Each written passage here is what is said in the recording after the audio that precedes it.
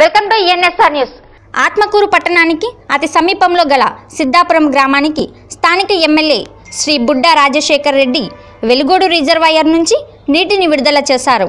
ఈ నీటి విడుదల వల్ల ఖరీఫ్ పంటలు పండడానికి నీరు లభిస్తుందన్నారు. రైతు సంక్షేమం టీడీపీ లక్ష్యమని రైతులు భయపడవలసిన అవసరం లేదని తెలియజేశారు. ఈ కార్యక్రమంలో ఎమ్మెల్యేతో పాటు ఎగ్జిక్యూటివ్ ఇంజనీర్ మురళి టీడీపీ ముఖ్య నాయకుడు యుగంధర్ రెడ్డి శ్రీధర్ రెడ్డి వరాల మాలిక్ తదితరులు పాల్గొన్నారు.